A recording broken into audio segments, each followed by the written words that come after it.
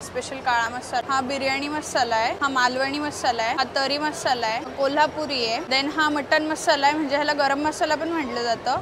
हा हिरवा गोडा मसाला आहे हा काश्मीरी मिरची आहे आणि आमच्याकडे येसूर म्हणून एक प्रकार आहे. धना पावडर आहे कांदा लसूण आहे हळद पावडर आहे आणि एक मिरची आहे. नमस्ते ताई तुमचं नाव?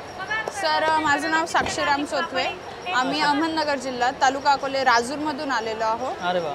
आणि आमच्या महिला बचत गटाचं नाव आहे हरिओम महिला बचत गट. माझी मम्मी स्वतः प्रोडक्शन करते आणि आमची फॅमिली बाकीची मार्केटिंग करते. तर ह्या एक्झिबिशनबद्दल आम्हाला कळालं. त्याच्यानंतरून गव्हर्नमेंटकडून फ्री असल्यामुळे मग आम्ही इथे आलो. तर करंटचे जे भाव आहेत ना गरम मसाल्याचे ते खूप हाय मग त्याच्यामुळे हे सगळे मसाले म्हणजे काळा मसाला बिर्याणी मसाला मालवणी मसाला तरी कोल्हापुरी मटन मसाला आणि हिरवा गोडा मसाला. तीनशे रुपये पाव आहे. देन काश्मीरी मिरची आहे ती चारशे रुपये पाव आहे. आणि येसूर मसाला धना पावडर ही दीडशे रुपये पाव आहे. कांदा लसूण मसाला म्हणजे घाटी मसाला आहे सर तो. तो दोनशे रुपये पाव आहे. आणि हळद पावडर आणि मिरची पावडर दीडशे रुपये पाव आहे. आणि ताई आपले इथे कोणते मसाले? हे सर पॅकिंग केलेले ही? सर सगळी पॅकिंग करून ठेवलेली आहे पाव पाव किलोची. हे आपला बचत गट आहे. हो सर माझ्या मम्मीचा स्वतःचा बचत गट आहे. हे ऑर्डर हो सर ऑर्डर केल्यानंतर कुरिअरने तुम्हाला मसाले मिळून जातील. आम्हाला ऑर्डरचा नंबर काय मग? सर ऑर्डरसाठी कार्ड आहे. सर इथे वरती नंबर आहे. तर ताईंचा इथे नंबर यांचा हरिओम मसाले.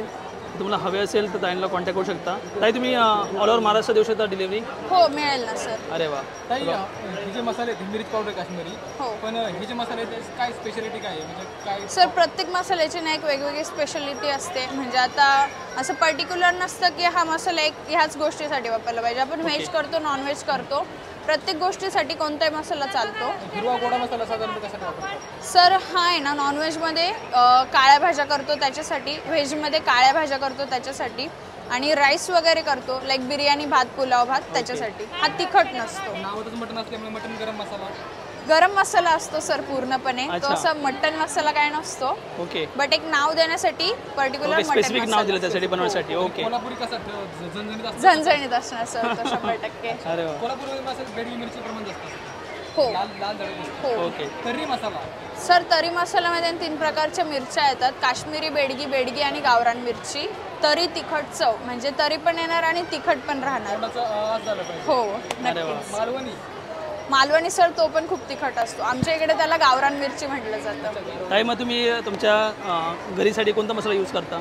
सर आम्ही स्वतःचं प्रोडक्शन असल्यामुळे सगळे मसाले यूज करतो. अच्छा म्हणजे नेहमी नेहमी काय काय तुम्ही सगळं जे वाटेल ते यूज अरे करायचं बापरे. सर अरे हो बापरे. सगळ्यांची टेस्ट माहिती आहे. तर टाईमचा छोटासा स्टार्टअप आहे सर तुमच्या हो सर. माझ्या मम्मीचं छोटासा स्टार्टअप आहे सध्या तरी. अजून काय मोठ्या स्केलवर आमचा बिझनेस स्टार्ट नाही झालेला. Okay.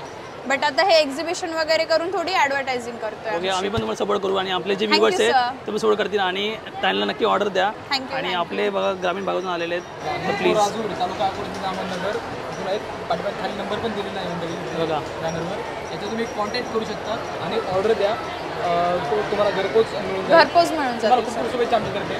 Thank you sir thank you thank you sir thank you